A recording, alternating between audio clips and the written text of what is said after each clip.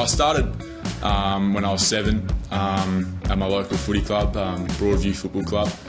Mum was pretty keen to get me into the sport, and, and Dad was fully fully for it. Yeah, it's just something I, I took a hold of, and um, as I grew, um, I was able to have it, enjoy it as I was playing well as a youngster, and then um, joined North Adelaide in their junior ranks, and just went from there. Yeah, it's been a, um, a successful year. Um, obviously, winning the champs with SA and school footy and, and, North Adelaide footy have been quite successful. So all I just wanted to be was consistent, and I've been able to do that. So I've reached my goal, I think. Hopefully, just an, a um, strong marking key forward type player um, who's able to provide an option up forward and also in the ruck at times, and um, be a versatile sort of player. So that's what I'm aiming to be. Yeah, I try to um, obviously use my marking and my, my kicking, my skills, um, get the get the ball as much as I can, and, um, and use my goal kicking to effect. Adding to that, I've tried to um, use my, my, game smarts and my footy brain to effect, and um, yeah, it's worked well so far. Uh, definitely winning the, um, the, the champs with SA this year, um, breaking that drought was just yeah, it was amazing. Kurt Tippett, um, is, since he's been back for the Swans, has been a bit of a role model to me. Um, just watching the way he goes about it, he's, he's a really good, strong, strong player.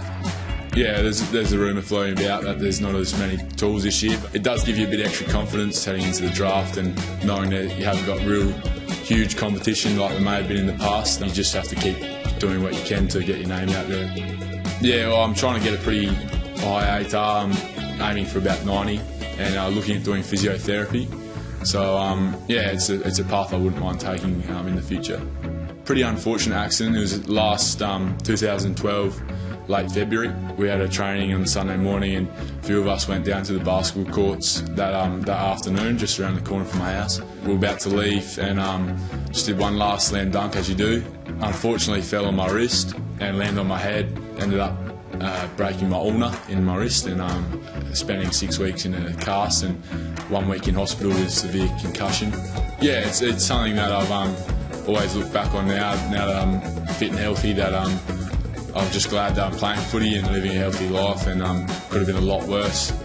To stay away from the basketball court. Um, so probably, probably a smart idea. It's obviously around the corner and um, you sort of just have to try and keep it, keep it in the back of your mind. Just make sure you do the right things off the field and um, just try and keep the nerves away. But um, yeah, it's pretty exciting.